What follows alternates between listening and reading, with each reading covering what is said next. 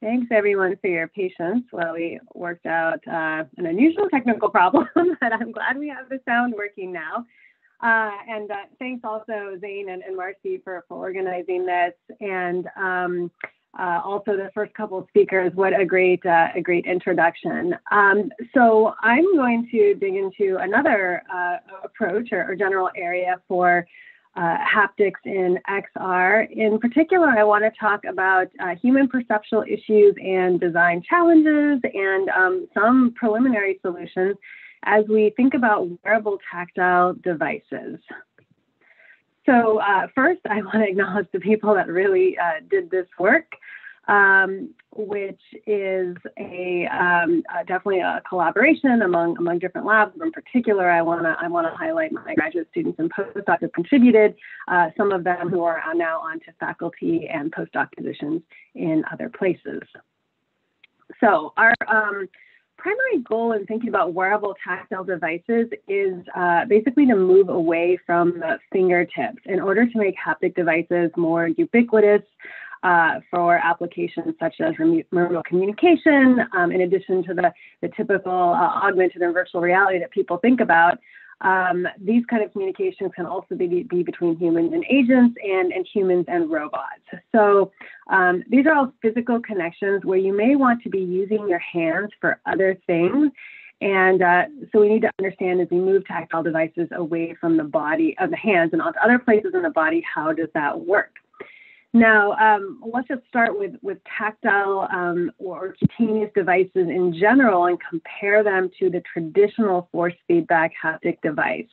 I'm sure many of you are familiar with kinesthetic devices, especially in multiple degrees of freedom, like the, the Phantom haptic device and its, um, and, uh, its, its progeny of, of various names. Uh, and these, of course, allow us to feel very compelling, realistic virtual environments, including shapes.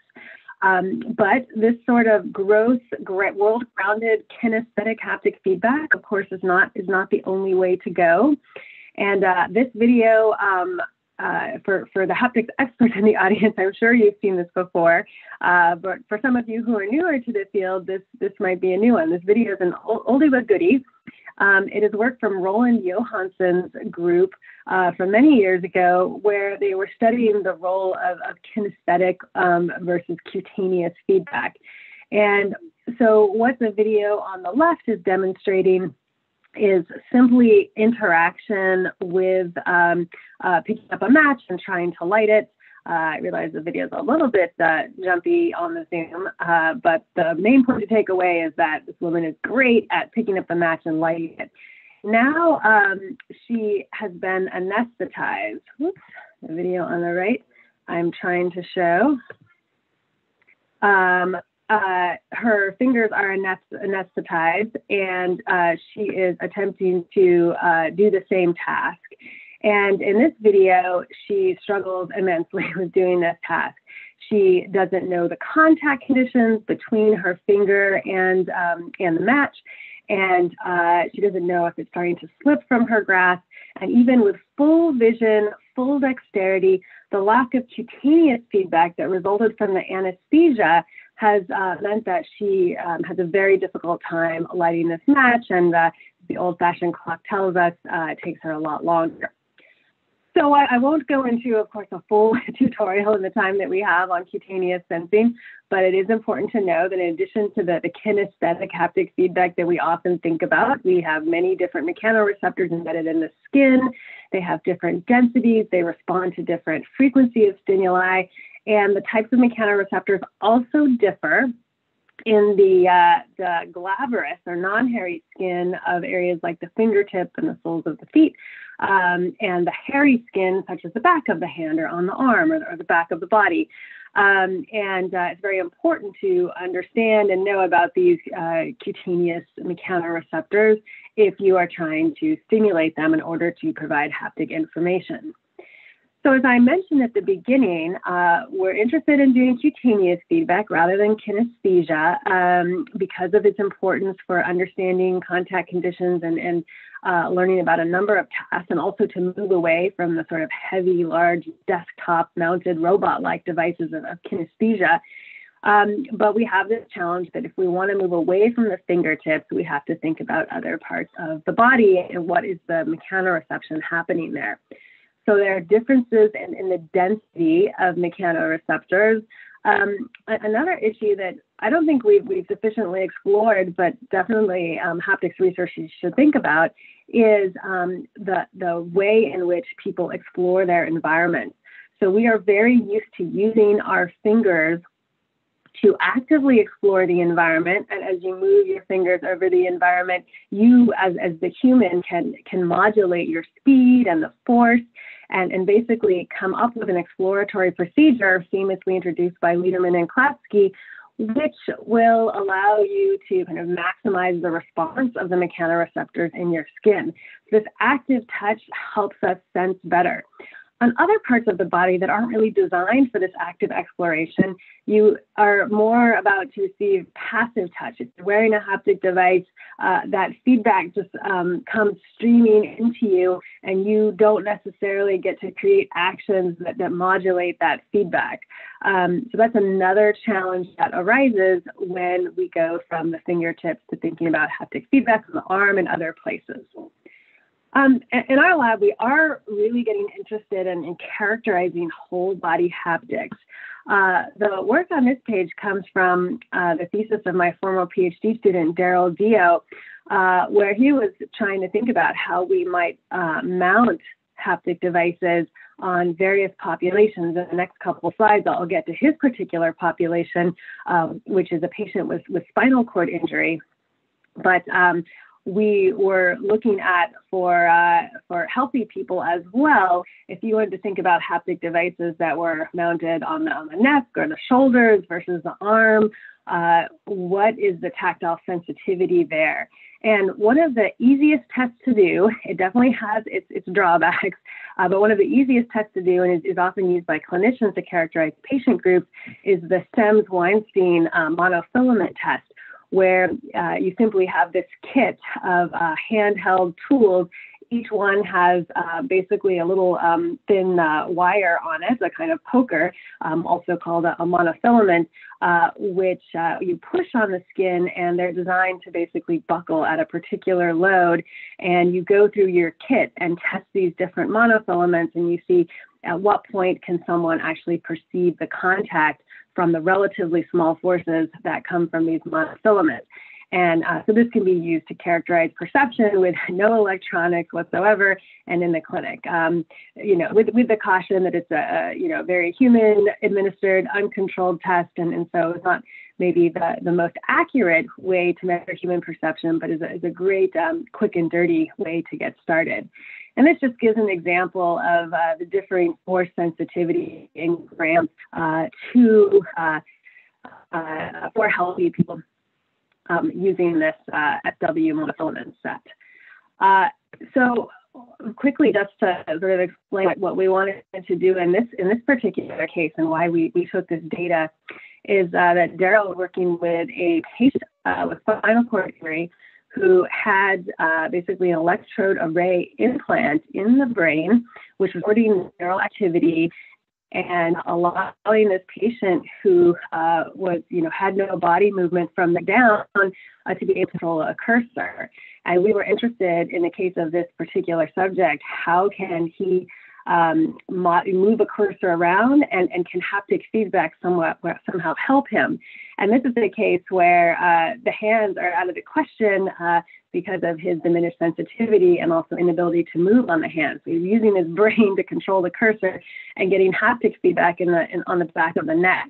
Uh, and uh, I, I, won't get into scientific questions about this, but it's been really interesting for us to see that um, we can elicit responses in, in, motor cortex, even if we're kind of thinking and visualizing about moving a hand, but we're providing feedback in the back of the neck. Does that work? Yes. And can that feedback uh, be, be, useful to, to help in um, this sort of invasive brain computer interface control? Yes. And uh, it also could have interfered with performance, which it did not. And so just as an example of how this works, so this is not, of course, a wearable haptic device. We use the kinesthetic device to provide effectively tactile stimuli where we were uh, effectively providing proprioceptive information about how he was moving the cursor in this virtual environment with his thoughts, um, such that uh, uh, we would get corresponding haptic feedback on the back of the neck, which was one of the few sensitive areas he, he had left.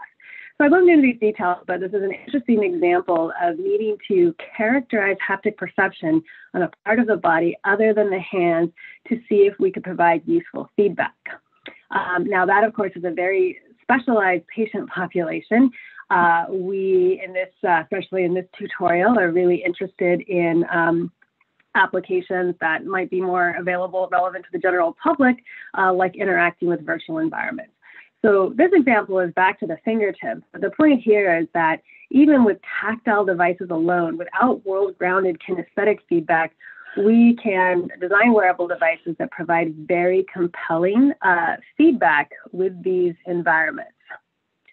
So in this case, we um, are uh, manipulating virtual objects, getting tactile feedback on the hands, and we found that similarly to what people can do with kinesthetic devices, just using the skin deformation at the fingertips, people can understand pretty well um, changes in mechanical parameters of objects in the environment. So what we're getting to here now is the um, idea of moving away from the fingertips in order to figure out how, uh, uh, how and when this will work. Uh, so my current postdoc, uh, Mine Sarac, has been looking at designing devices, for example, on the wrist that move away from the fingertips and provide these same sort of skin deformation and shear. And um, our preliminary work has shown that participants can still identify object properties, even if we're tracking their hand and that's how they're interacting. Uh, we can uh, get some information from the wrist that also lets people kind of model these virtual environments. Uh, we are certain that it's not as realistic and not quite as good as having direct haptic feedback on the fingertips, both because of the tactile sensitivity and the naturalness of active versus passive exploration. Um, and uh, you know, and also just likely trying to having to learn mappings between between the fingertip and feedback on the wrist. Uh, but but it seems to work. So so you know, stay tuned. I think for our more more complete experiments along these lines. Um, but moving away from these kind of just virtual environment interactions, I also wanted to um, discuss other types of designs that get away from uh, classic kind of rigid haptic devices. And uh, this is uh, this field of soft wearable haptics, which is really interesting because uh, we would like to have wearable devices that are relatively lightweight, can be mounted on the body, and can also be comfortable. And uh, there are a few different strategies that you can consider when um, you're designing such devices.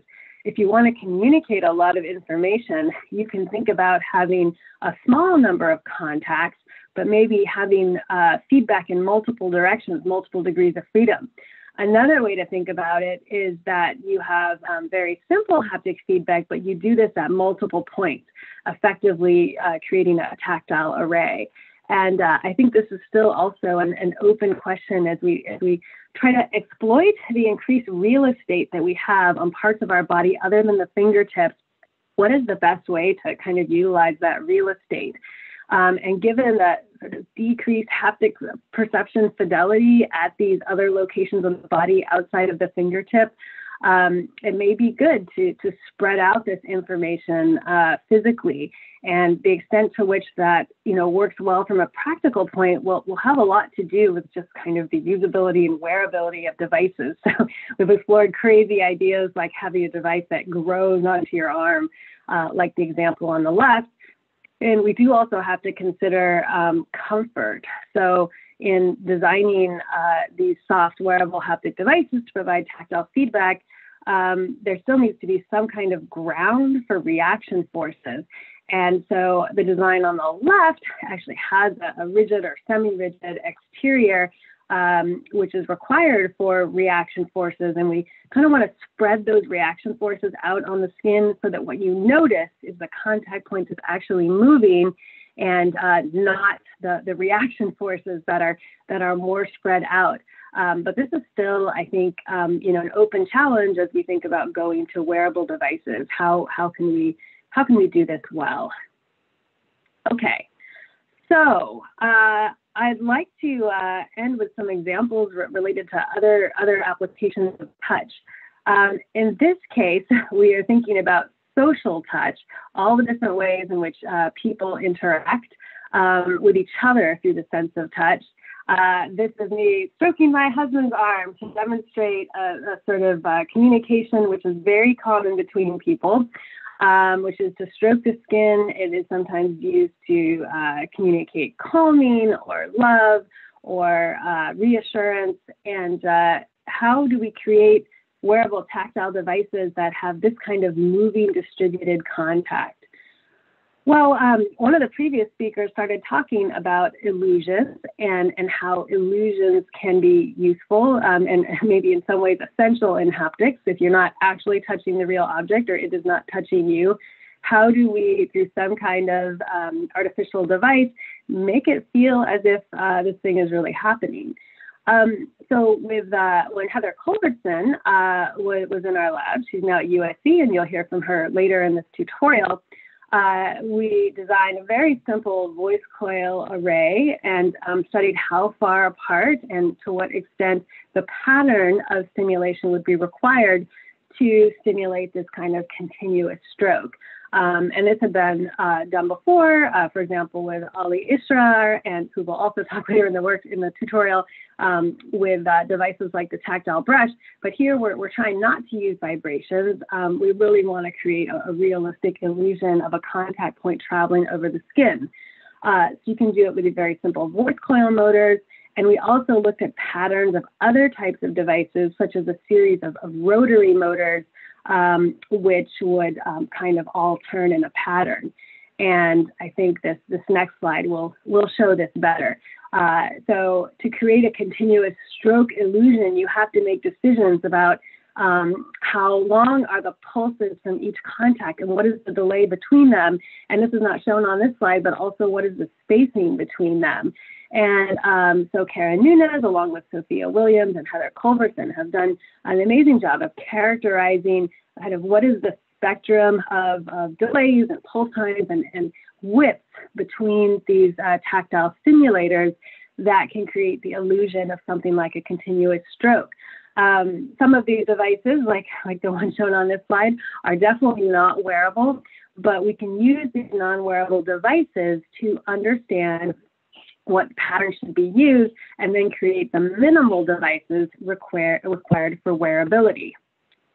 And we've uh, applied this in, in the idea of, of performing social touches. Um, so here's an example uh, with uh, my grad students, Mike Salvato and Sophia Williams. He is touching her arm to convey a social touch. We recorded on a capacitive wearable array what those social touches were like, and then modeled those patterns and then uh, recreated those patterns on uh, one of these voice coil arrays. And uh, in some cases, like in the case of a stroke, figured out the patterns that would feel continuous. And uh, it, it, turns out that we can, um, very close to the ability of human human touch communication, be able to communicate emo- emotions or cues like happiness, gratitude, calming love and uh, attention, which isn't exactly a, an emotion, but could be useful as a kind of haptic icon, uh, similar to to the um, to the kind of emojis that we that we send today. Um, and these uh, definitely map as expected to uh, various uh, valence and arousal patterns that that you would get from these emotions. So um, in in so revisiting this question though of, of arms versus fingertips, I, I want to get back to this question I mentioned earlier about well we, we know that that the fingertips are going to have better perception than the arm, uh, and and maybe social touch doesn't normally require fingertips. You want to you want to feel a stroke on your arm, but there are going to be other cases where we want to maximize information transfer. So I'd like to discuss another idea which can um, basically exploit both the arms and the fingertips. And this is work from Sophia Williams, where she compared uh, vibrations, uh, vibration patterns that are used to convey information that are displayed to the fingertip or to the forearm or to both. And the, the longer term idea as we think about wearable ubiquitous haptic displays is that you could wear some kind of display on your arm. Um, because the sensitivity on our arm is not so great, we could get kind of initial information or initial cues through the arm. And then if the user would like to, um, surreptitiously or not, get more information, they can then explore the device with the fingertips of the opposite hand. So that way the fingertips are not always encumbered and the device is wearable, but we can exploit that better perception, uh, both in terms of the density of the mechanoreceptors and the active aspect of exploration um, of the fingertips.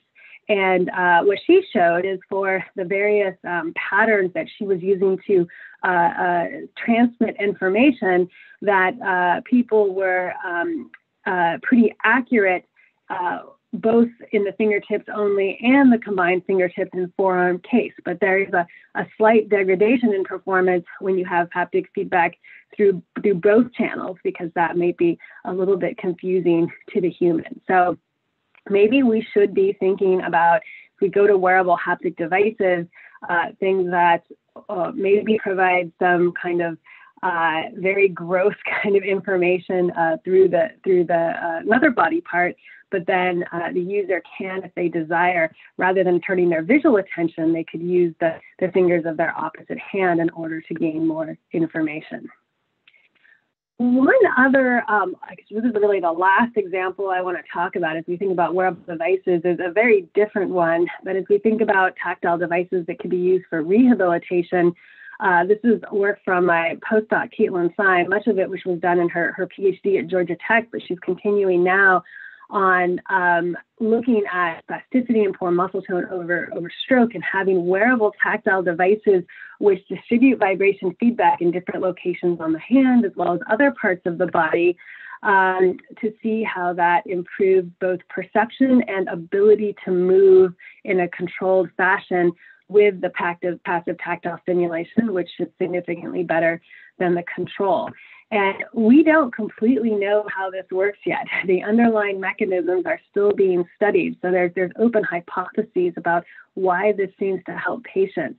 But um, it is another really interesting way to think about wearable tactile devices in contrast to the rehabilitation robots, which are much more complicated and can only be used in the clinic uh, compared to other devices. So it's just another great um, application with lots of still open scientific questions of how we can use tactile devices.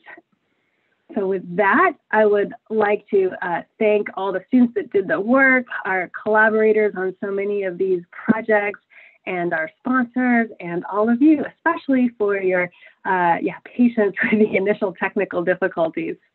And thank you, Zane. Pass it back to you.